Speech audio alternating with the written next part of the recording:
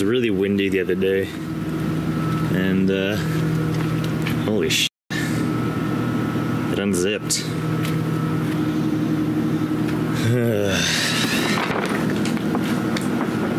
well, at least everything's still there, and I think stayed dry.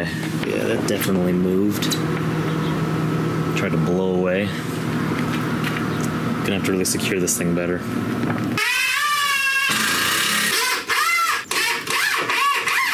So that's at a f***ing angle now. That's just too big. The real world, not like the model. Two foot ten and a half. That's what it was supposed to be. This, in a f***ing quarter.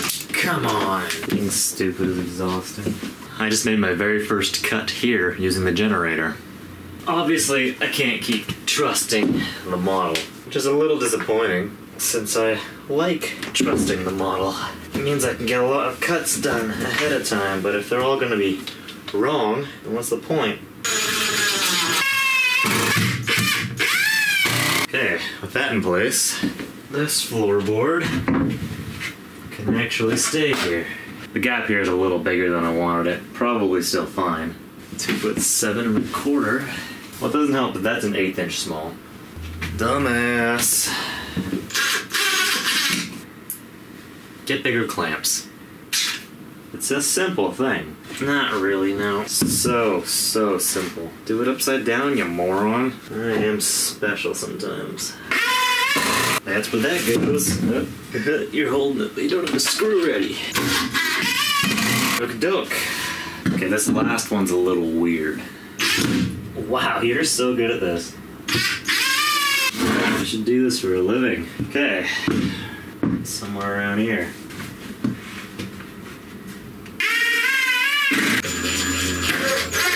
So the reason I've done it this way is so that I still have a lot of access in and around here. Uh, this is where the couch framing will eventually go. But I want to be able to get in here because I'm going to have plumbing and stuff associated with the hot water heater. Probably in this area here. Finally. Weird. Floor is finally in. Listen to that generator hum. I vacuumed underneath of it. First time a vacuum has been used in here.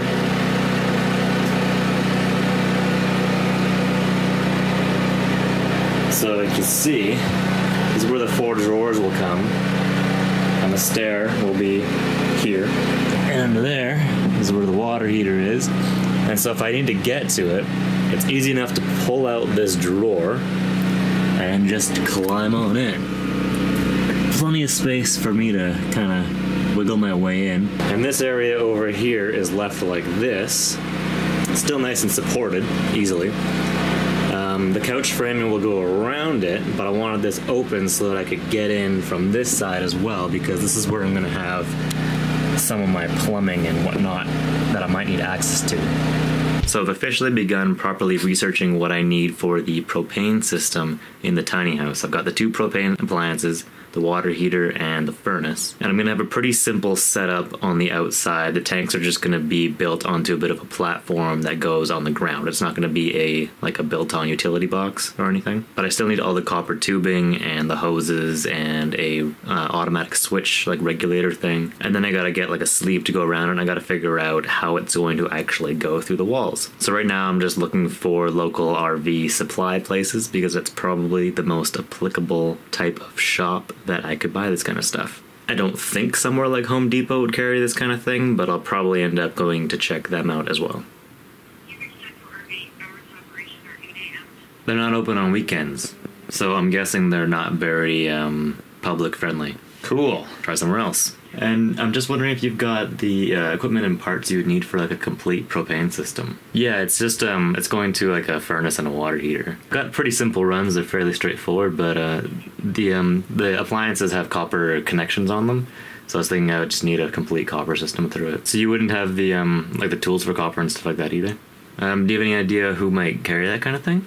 So that was an RV place, and they don't even have copper stuff for propane. So gave me the number of a couple other places. One is just like a fittings place that might actually be the best option. So I'm at the tiny house right now to kind of finalize my plans for the propane. I'm about to head to Home Depot to try and find the parts, though I may have to get it through a more specialty store. I wanted to take one last look at the appliances just to kind of get my head around what they have as far as their fittings are concerned. It's actually looking a lot less complicated than I thought it would be. I also wanted to grab the instruction manual for the water heater just in case I needed it for reference.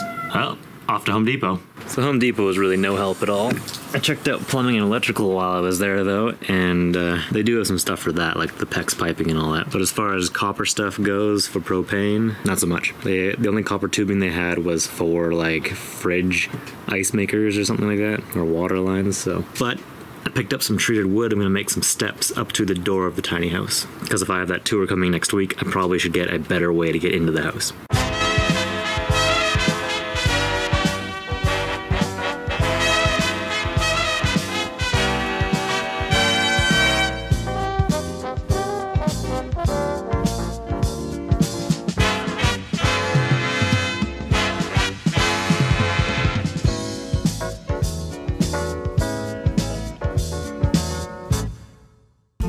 So this weekend is over.